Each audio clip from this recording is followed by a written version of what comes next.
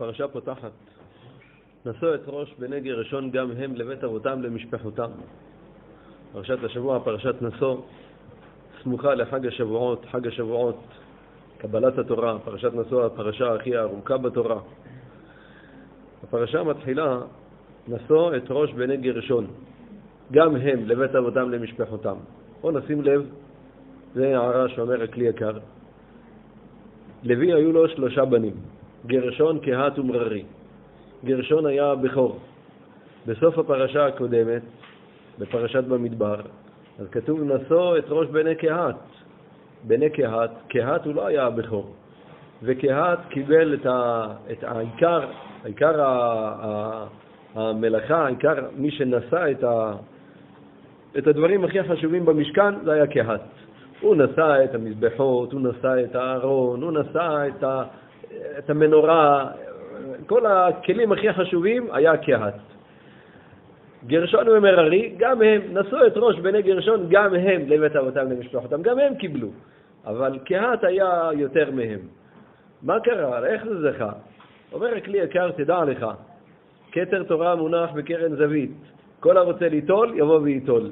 את הארון, מי, מי הארון מרמז לתורה, מי נשא את הארון? קהת.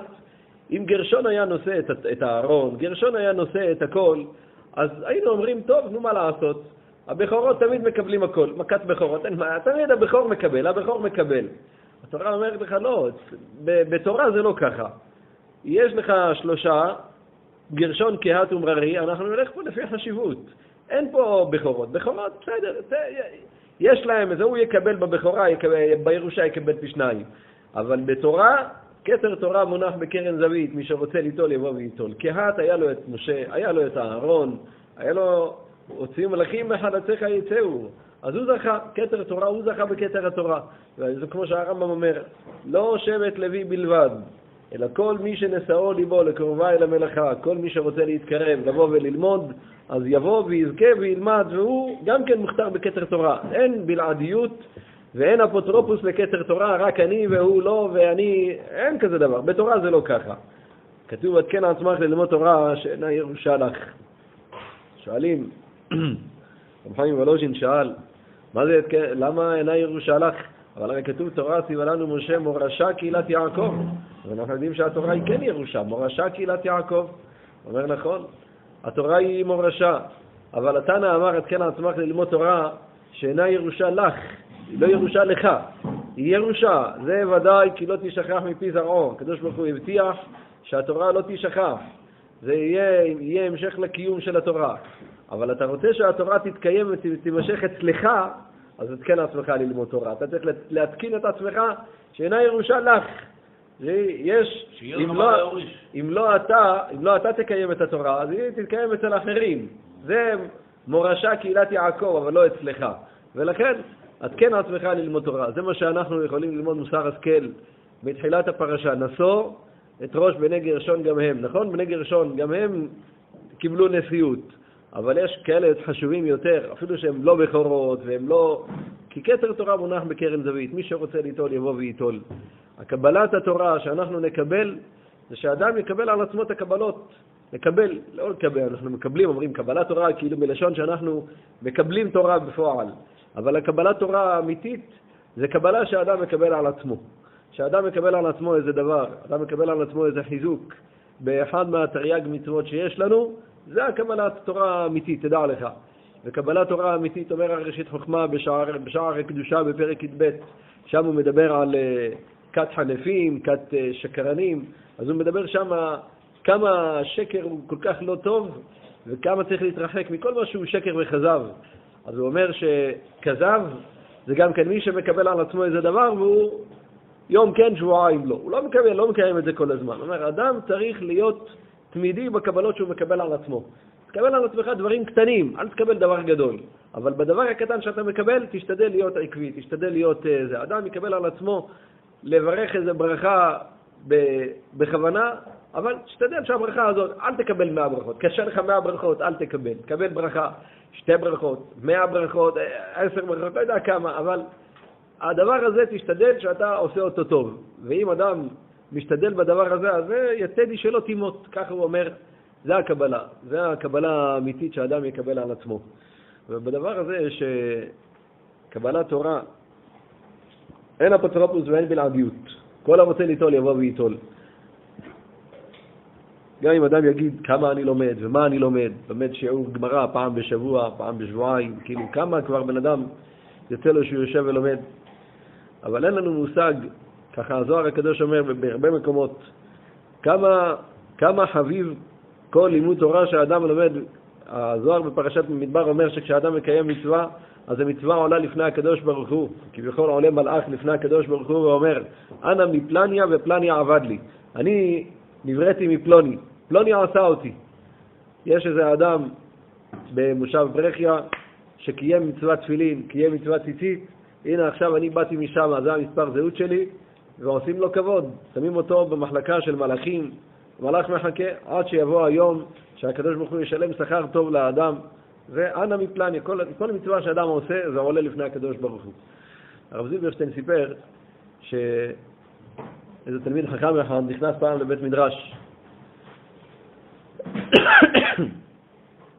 והוא ראה שם בעל תשובה שיושב ולומד, יושב שם ליד הספר, והוא קלט אותו, שהבעל תשובה הזה הוא ככה אה, מאוד עצוב לו, מאוד... אה, לא קשה לראות שהבן אדם הוא... הוא לא אוחז, מה שנקרא. אז הוא ניגש אליו, ואז הוא אמר לו, אולי אני יכול לעזור לך במשהו, אה, אולי. אז הוא אמר, התחיל ככה, הוא ראה שהוא יכול באמת לספר לו, וזה יושב לו על הלב.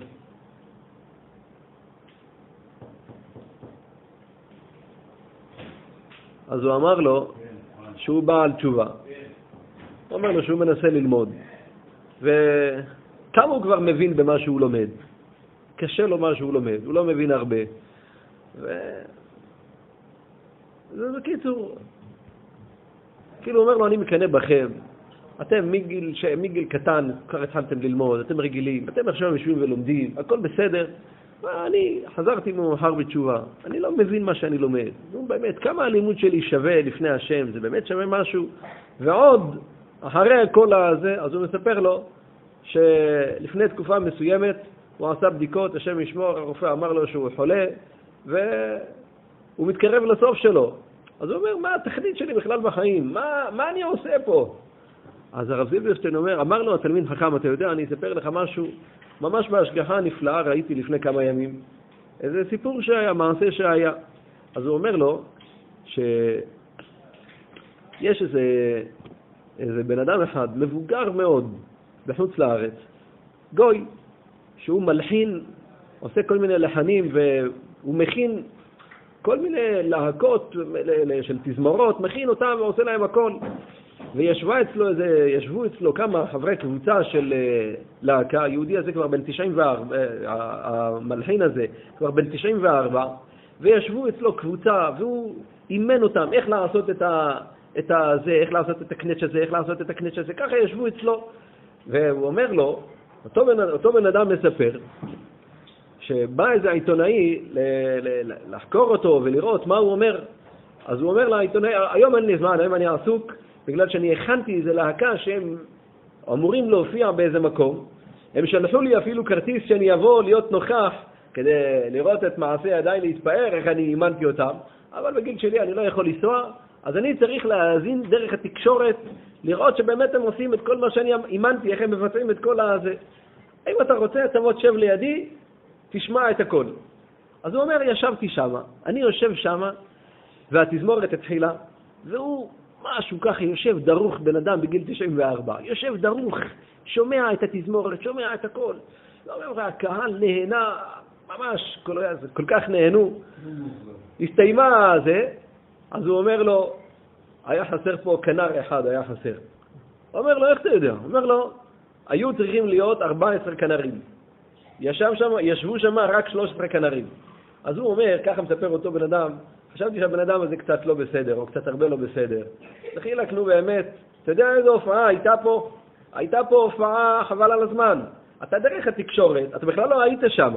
אתה מצליח לקלוט שאין שם 14, יש שם רק 13? נראה לי שאתה טועה. אז הוא אמר לו, תתקשר עם הבעל הזה שם, עם המקום שהם היו שם, תספור כמה כנרים היו שם ותבוא אליי עם תשובות.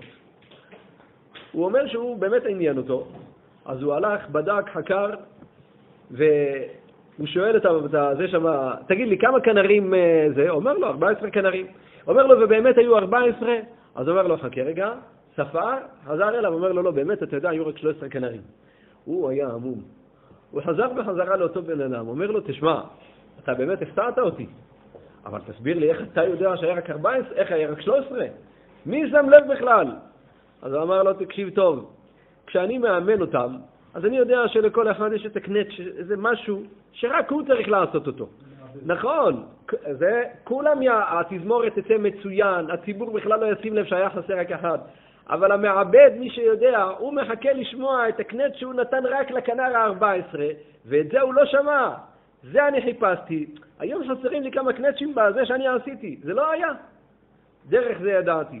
אמר לו אותו תלמיד חכם ליהודי הזה, תדע לך, הקדוש ברוך הוא המנצח על כל העולם כולו. ועתה כתבו לכם את השירה הזאת, התורה זה השירה. ולכל אחד, לכל יהודי, יש את הקנצ'ים שלו, שהמנצח של העולם, זה הקדוש ברוך הוא, הוא מחכה שהיהודי הזה, רק הוא יכול לעשות לו איזה, איזה לימוד אחד, שרק בצורה של דרך הלימוד שלו, וזה לא משנה איך הוא לומד וכמה הוא לומד. כשזה משתלב ביחד עם כל השירה של כל הלימוד, כל אלה שלומדי תורה, זה תזמורת נפלאה, אבל הקנט שלך אף אחד לא יכול לעשות אותו. אז הוא אמר לו, זה כל כך מים קרים על נפש עייפה, זה כל כך עודד אותו. הוא ישב ולמד עם ההבנה שלו ועם מה שהוא יודע. הוא אומר שאחרי תקופה מסוימת, אז הוא נפטר, אותו יהודי, אז התלמיד חכם הוא בא לנחם. אז הבנים אמרו לו שהאבא כל הזמן היה אומר, את הקנצ'ים שאני יכול לעשות בתזמורת, אף אחד לא יכול לעשות. הוא אומר, הוא היה חוזר על זה, זה היה כל כך עודד אותו. מה זה משנה איך אני לומד וכמה אני מבין? אבל הניצוח שלי, התזמורת שלי, אף אחד לא יכול לעשות אותה. זה אני רוצה לעשות נחת רוח להשם. זה בני קהת. בני קהת, כתר תורה מונח בקרן זווית, מי שרוצה יבוא וייטול. זה לא משנה כמה ומה. מה שאדם יכול זה מה שעושה נחת רוח. יש בהמשך הפרשה, איש כי יפלי לנדור, נדר נזיר להזיר להשם.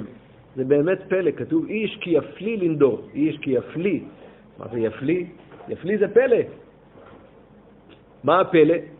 אומר האבן עזרא, האבן עזרא, אחד מהראשונים, אחד מגדולי הראשונים, אומר האבן עזרא, תדע לך שכל בן אדם הוא עבד לתאוות שלו. בן אדם הוא עבד לתאוות, שעובד. בא לו, מתחשק לו, רוצה את זה, רוצה את זה. הרבה פעמים הוא לא שם לב, מדבר מה שהוא לא רוצה לדבר. כמו שאומרים, החכם אמר, הדיבור, כל זמן שאת, שלא הוצאת אותו, אז אתה שולט עליו. כשהוצאת אותו, הוא שולט עליך. כל זמן שהוא בידיים שלך, אז הוא אסיר אצלך. כשדיברת, אתה אסיר אצלו. איש כי יפלי לנדור, אומר האבן עזרא, סתם בני אדם הם עבדים לתאוות שלהם. והנזיר הזה פתאום הזיר עצמו מן היין. זהו, הוא ראה איזו אישה שהייתה לא בסדר, קיבל על עצמו עכשיו לשמור, אמר זהו, אני נוזר, נודר על עצמי לא לשתות יין. הוא אומר, נזיר זה מלשון נזר, נזר אלוהיו על ראשו, זה מלשון כתר, כתר מלוכה. הבן אדם הזה מלך פה על הרצונות שלו. יש לו רצון, הוא רוצה לשתות יין, והוא מולך על הרצונות שלו, אני לא אשתה יין. זה מלך. איש כי יפלי לנדור נדר נזיר. באמת, אדם שמולך על הרצונות שלו, זה פלא. אבל הוא הנזיר האמיתי, הוא הנזר, הנזר האמיתי, הכתר, המלך האמיתי, זה מי שמולך על הרצונות שלו, מי ששולט על התאוות שלו. אני עכשיו, אני מחליט לעשות ככה ואני מחליט, ובידי, מה שהשם רוצה אני אעשה, אעשה רצונו כרצונך. רב שלומקה מזוויל היה, אדמו"ר מזוויל, היורצייט שלו היה לפני שבוע. הוא היה מגדולי האדמו"רים לפני 80 שנה בערך. רב שלומקה מזוויל, מספרים שפעם היה איזה בחור אחד שהתארח אצלו בבית. היה מקובל שהם היו מארחים פלא פלאות. יש, היה עד לא מזמן איזה אדמו"ר אחד, שכחתי את השם שלו, שהיה לו בית הכנסת אורחים, זה פשוט, אה, זה לא יאומן כי יסופר. אתה יכול להיכנס אצלו בבית, לדפוק, להיכנס, אתה לא צריך לשאול אותו. אתה ניגש ישר למטבח, פותח את המקרר, תאכל מה שאתה רוצה, אין מי יאמר לך מה תעשה ואין מי יאמר לך מה תפעל. הוא ואתה, שניכם שווים בבית. היה, אני לא... המשפחה שלו הייתה מונדרר. הוא היה אדמו"ר, כאילו הוא מצד בן של אדמו"רים, גם הוא המשיך בשושלת של האדמו"רים, עד כדי כך שפעם אחת הוא הלך לכותל. הוא הלך עם הכותל, אז הוא הלך עם הלבוש שלו, עם השטריימל, עם הלבוש של האדמו"רים.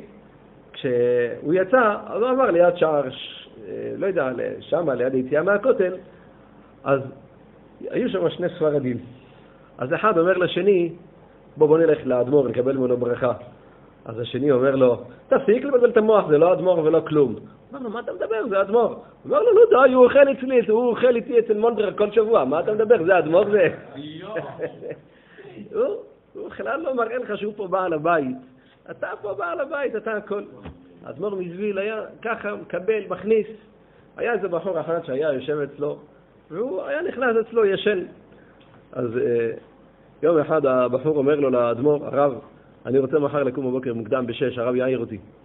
אמר לו, לא, אני לא, לא מעיר אותך. תקום מתי שאתה רוצה, תקום לבד, תדאג למישהו. הבחור התעורר בבוקר, רואה הרב יושב עם הסטנדר ולומד. נו, באמת, למה לא הערת? החלטת להעיר אותי, למה אתה לא מעיר אותי? טוב, למחרת, עוד הפעם, הבחור הולך לישון, הוא בא לרב, הרב, הרבי יעיר אותי מחר בבוקר, אני רוצה לקום בשש. הוא אומר לו, לא, תגיד למישהו שאני לא מעיר אותך. למחרת הוא אומר, לא יודע, אולי הרב לא יהיה פה. למחרת הוא מתעורר, הרב פה. פעם השלישית, ביום השלישי, הוא בא, אומר לרב, הרב יעיר אותי מחר, או אותי כסף מהכיס, קח, תקנה לך שעון מעורר, תלך, תתעורר לבד, אני לא מעיר אותך. אומר לו, רבי, למה? אז הוא אמר לו, תדע לך שכשמעירים מישהו, גם אם אתה מבקש ממני להעיר אותך, אבל בשנייה הראשונה אתה בצער. אני לא רוצה לצער יהודי. אני לא מעיר אותך, אבל אתה רוצה לקום. כשהשעון יעורר, מעורר יצער אותך, אני לא אצער אותך. זה היה ההסתכלות שלו. אז רב שלונקה מזוויל היה פעם בכותל, הוא היה מקבל פתקאות, היה מקבל קוויטלח, היה מקבל uh, שמות של אנשים, היה הולך לכותל להתפלל ובוקע שערי שמיים שמה, והיה תפילות, היו תפילות נענות. יום אחד הוא הגיע לכותל, והיה שם איזה יהודי, וכשהוא ראה את, ה, את הרבי מזוויל, התחיל לצעוק עליו, קיטון של רותחים, הוא לא מכיר אותו בכלל, לא עשה לו כלום. והצעקות, עוד שנייה האבנים שם היו נופלות מרוב אה, זה. צועק. לא, הוא לא עונה לו, הרב לא עונה. לא עונה, זה הרתיח אותו יותר. צועק עוד. מה אתה רוצה בכלל? מי דיבר? מה עשיתי לך? הרב לא מדבר כלום. השמה של הרב מתפלא, מה קרה? אחרי שהוא קצת שפך את כל מה שיש לו בבטן, הרב אמר לו, לרב אמר לשמש, לך תעקוב אחריו ותגיד לי מה הכתובת שלו. הלך, עקב אחריו, אמר לרב את הכתובת, כשהרב הגיע לבית, לקח מעטפה, הכניס שם סכום כסף מכובד, אמר לשמש, לך תשים את זה בבית. אמר לרב, הרב לא מבין, עוד מגיע לו משכורת על הצעקות שהוא צעק על הרב? איפה זה? הרב אמר לו, תלך. טוב, הרבי אומר, לא שואלים שאלות. הלך, הוא אומר, הלך לפי הכתובת, הוא הגיע, דפק בדלת, פותחים לו ילדים, הלבוש שלהם כזה מרושל, אתה רואה את הפנים שלהם חברות, ניכר עליהם שכמה ימים לא אכלו כמו שצריך. אומר, ותוך כדי האימא באה, האישה באה, ואומרת לו, תשמע, אתה ממש מלאך משמיים, איך ידעת לבוא לכאן? הוא שם את המעטפה והלך. הוא חוזר לרב שלומקה מזוויל, ואז אומר לו, הרבה, נו, איך הרבה ידע? מה, זה רוח הקודש? אז הוא אמר לו, תשמע, אני לא עשיתי לו כלום. אם הוא צועק, סימן שיש לו משהו שמציק לו. מה יכול להציק לו? כנראה העוני, השם ישמור, העוני מעביר את האדם על דעתו, אז הוא צעק. אז צריך לחפש את הפתרון. מה הפתרון? שאני אגיד לך לצעוק עליו בחזרה עכשיו בכותל? לצעוק עליו, זה לא הדרך. תבדוק מה קרה, מה הציק לו. מה שהציק לו זה העוני שלו. אז לא, תלך תסדר לו דעת, וככה, תדע, כל דבר על מקומו בשלום.